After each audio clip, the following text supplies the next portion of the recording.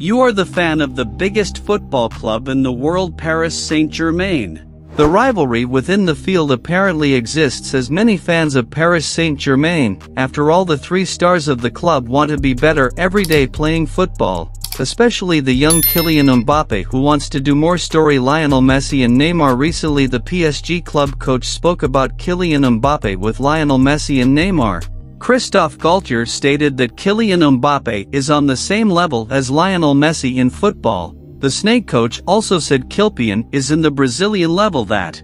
Kiel is in see what PSG technician Christophe Galtier recently said. Kylian Mbappe approves this project, there can be no doubt, he believes me as a coach, but when I say that Mbappe believes in the project, it's not that he is above the club, Kylian Mbappe is on the same level as all other players, on the same level as Lionel Messi who has an incredible career and who is the greatest player in football history, Kylian Mbappe is on the same level as Neymar, they play together, they have a real permanent relationship in training every day, there are three great players with different personalities, different ages, they know very well that they will succeed playing for each other.